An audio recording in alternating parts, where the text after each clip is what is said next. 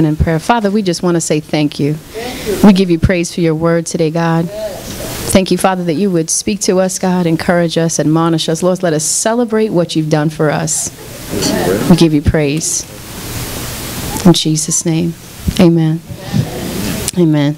Well, this morning, as we are celebrating Palm Sunday, does everybody know today is Palm Sunday? Everybody in here? I didn't know. I was invited to speak for Palm Sunday. I said, when's that? It's today. Hallelujah. Amen. Now, the Lord, what the Lord specifically spoke to me to convey today, or really to speak to it, and I'm going to do my best to teach it and not try to preach it. So say, help, a Lord. Amen. Now, Jesus is the gate to righteousness. Amen. We recognize the gate of the Lord. Amen. We're open in Psalms 118, read 19 to 26. The Lord says, Open to me the gate of righteousness. I will go through them. I will praise the Lord.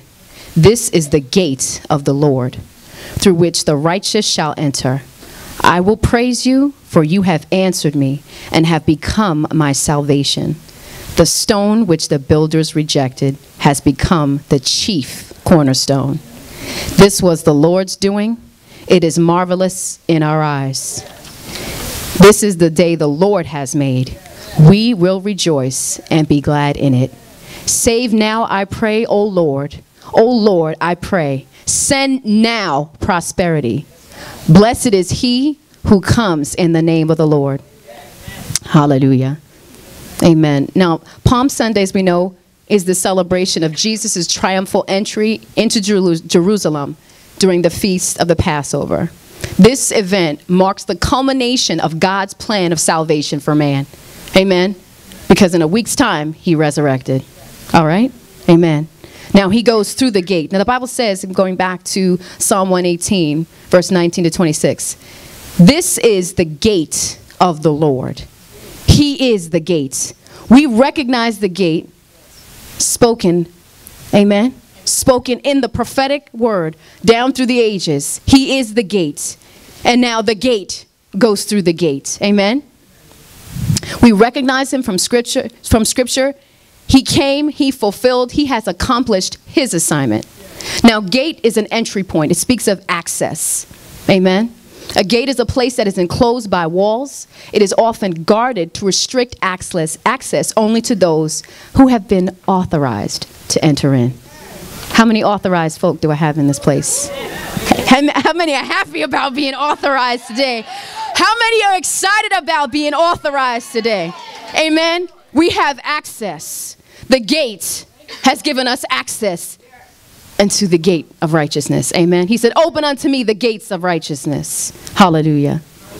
Now he rides into Jer Jer Jerusalem. I can't tongue tie today. We're going to speak. Hallelujah.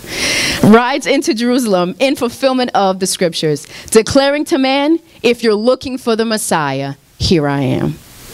Amen. Here I am. And he's saying it today. He said it then and he's saying it today. Here I am.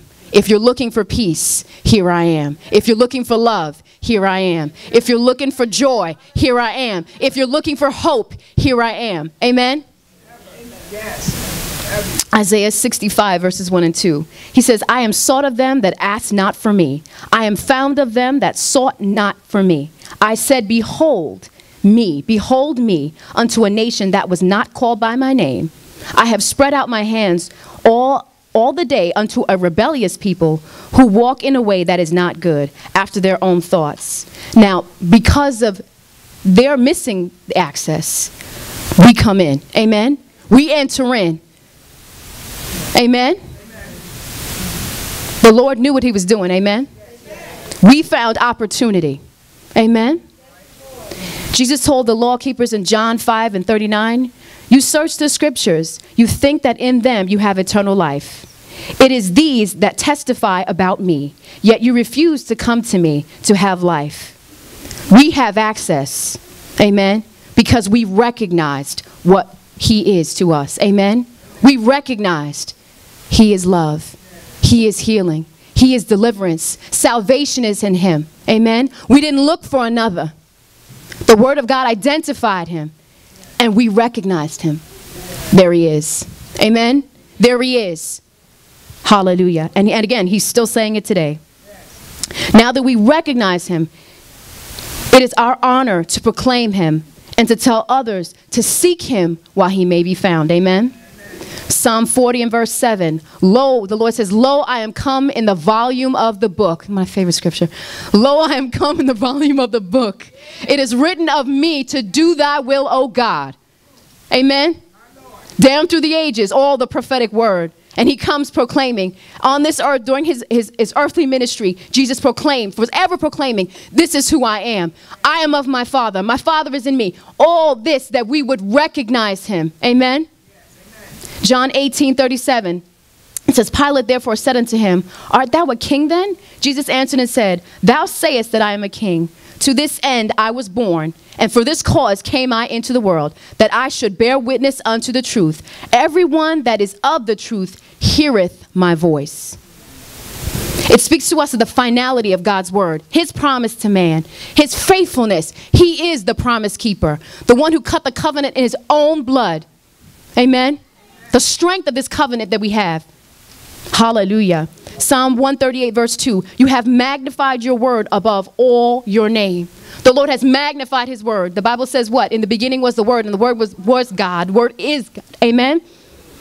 The Bible says that flesh, he came and dwelled among us, stepped out of eternity into time and dwelled among us. Amen.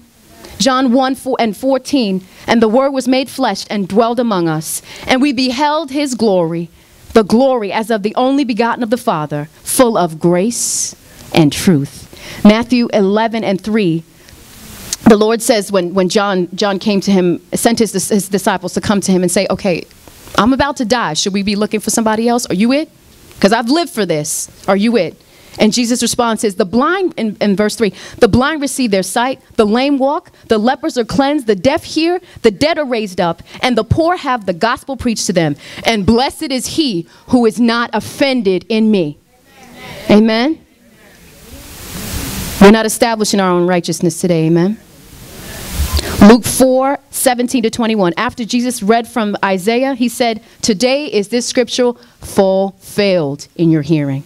Again, proclaiming, proclaiming, declaring, I'm here, I'm here, I'm here, I'm here. If you want me, if you need me, I'm here. Amen. His righteousness and his just in his righteousness. I love the Lord. I love the Lord for he is righteous and he is justice. His righteousness and his justice. He is righteous and he is just. He demanded righteousness. He is righteous and he knew we could not manifest righteousness on our own. So he gave us his righteousness. Amen. And in his justice, he declared to us who he is and who he's not and did not look for us to do right on our own. He gave us in His justice, He gave us the Lord. Amen? He gave us His truth. And it sounds like that's my time. I have, I have so much more to say. But before the Sandman comes to get me, I will say hallelujah. He has fulfilled his assignment. The gate of the Lord. Amen.